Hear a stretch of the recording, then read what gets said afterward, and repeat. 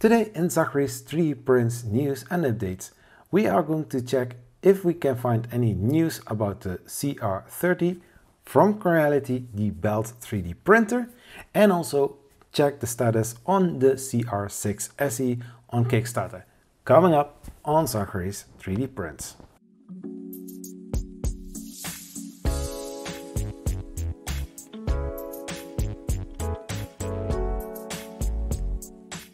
Hello, this is Zachary from Zachary 3D Prints. Today we are going to check out the CR30 from Creality. What is the status about this 3D printer? Since live stream in March from Creality, we had several announcements about their six new 3D printers that are going to be released in 2020 or maybe later in this year. But what about the CR30? What's the status of this 3D printer? And the reason why I'm asking this is because in the meantime, Creality already released some of their new 3D printers like the Ender 3 version 2, which is on pre-order on June this year. Next month, they are going to be shipping those Ender 3 version 2, but also the CR6 SE, which is still on Kickstarter. But later I will tell more about this Kickstarter project. The Ender 6 and the CR5 Pro are already available on their site, but you can do an inquiry, whatever that means, because I don't actually see a button where you can buy this 3D printer.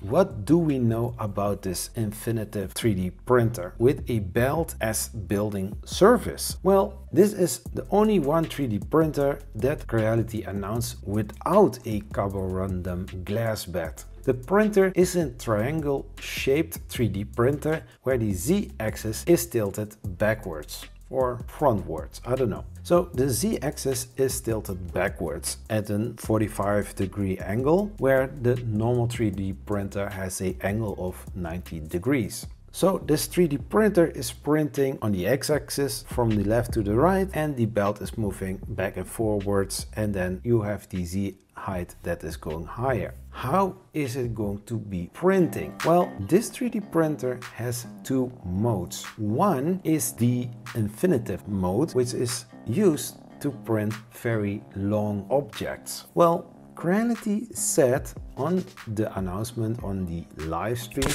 that this printer is capable printing something until the 100 meters. So that would mean that instead of normal layer by layer, it's going to print in a diagonal way. So it's starting to print from left to the right and the bed is moving, but then the Z axis is also going to move up and downwards every time that the print is moving to the front or to the back, depending on which direction the printer is going to print the infinitive object. Well, infinitive in the way of 100 meters maximum. The other one, the other mode that you have on this 3D printer is a continuous 3D printing mode. So that will mean you can print like a hundred benches. I'm printing something now. When it is finished, it stops it moves the belt and then it starts printing again. It can be the same model, it can be different kind of models depending on what is in the batch of this 3D printer. Whether you, you use the slicer or a, a different kind of slicer, I don't know. But for this 3D printer, when the print is done, it moves up and then it starts a new print. After it's reached some, some models, then the first printed model will be going off the belt and then you can gather it. That is the way I think this printer is working for the most of the part. But hey, we will see more demo videos about this 3D printer. Besides the infinitive mode 3D printing and the continuous 3D printing mode, what can we tell about this 3D printer? Well, the printer on the picture doesn't look that big.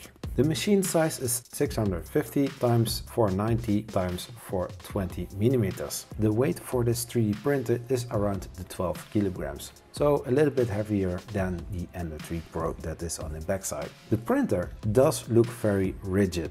It has aluminium profiles and also injected molded plastic parts. The belt is a very strong. The material of the belt, I don't know. Creality mentioned in the live stream that the belt is very rigid and is strong. It doesn't have that much wear. The ad adhesion from this belt is great and prints stick very well to the belt because the belt is every time moving so it has to be as strong as possible. The printing volume. The printing volume is 258 times 200 times infinitive. Well, the nozzle temperature is to a maximum of 260 degrees Celsius. So you can print PLA, PETG, and I think also ABS. But then for the last one, I can see on the picture that everything is as much as possible within the frame. I think that there is a possibility to add a enclosure over your CR30 but at the other hand but then you have the extruder and also the carriage that is that are moving so I don't know if there is an enclosure coming for that but if you have a temperature to 260 degrees there should be a possibility to print ABS or other plastics that you can print with this 3D printer. I think there is a heat bed underneath the belt. Why? Because it is a 3D printer with the, the idea behind it that you can use it in small productions. So if you are printing material like PLA, it wouldn't make any sense. However, if you have something like ABS or PETG, those materials are way stronger and more heat resistant. So I think you can print ABS with this with an enclosure. But Time will tell. The only two people that touched this 3D printer in real life are Naomi the sexy cyborg and also I saw a tweeter coming by from the White Knight and he did receive a alpha model. That means this is a model that are going to be changed and they want to know from certain people what do they think about this 3D printer and what can they improve with that? I know from the White Knight that he has experience with infinitive 3D printing machines. So I, I would suggest to check out after this video links to their channels in the description of this video and you will get notifications if they are going to release some videos. And of course on this channel when I have some more news about this CR30 I will tell you as soon as possible. More news. The CR6 SE on Kickstarter. What about it? What's the news and what can I tell you about this? So the CR6 is still on Kickstarter. There are there are just six days left on Kickstarter. What is the status of this Kickstarter campaign until now that I recorded this video? They have pledged more than 3.3 million dollars and more than 8,778 people backed this project. There are some content creators on YouTube but also some other sites that got their hands on a pre-production model.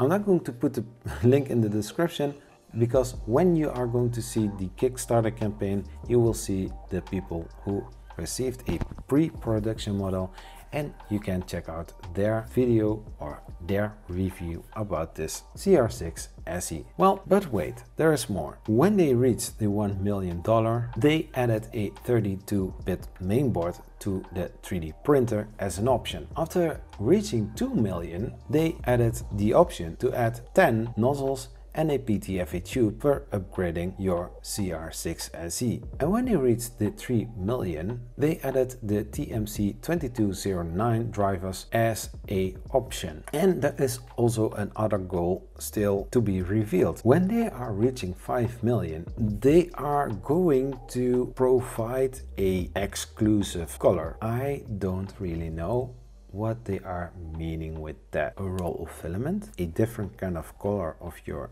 CR6 SE? I don't know, but time will tell. And then when you scroll more down, you have the section add-ons. I didn't see that before. There are more add-ons for this printer, but how does it work? You find your pledge, add if you want a, for example, auto level strain gauge of $7 to your reward price manually And of course, if you want to have more items, you can add them, but as long as you add the amount of money to the reward price. Creality is going to send a survey to all backers when they have finished the project and you can note what add-in you have added to your pledge. Well, I think that sounds great. I think that sounds great. These printers are going to be shipped in or after August of 2020. I will put the link of the CR6 SE on Kickstarter in the description of this video. Well, I also want to add a link in the description for the CR30, but it's not there. I will put the link of both YouTubers, Naomi the Sexy Cyborg and also the White Knight YouTube channel in the description of this video so that you can check out their channel when they are adding some videos about the CR30. Well, that is it for Zachary's 3D prints news and updates. Please like this video, subscribe to Zachary 3D prints and I will see you next time. And hey, let's make some fun with 3D printing. Zachary 3D Prints. Bye bye.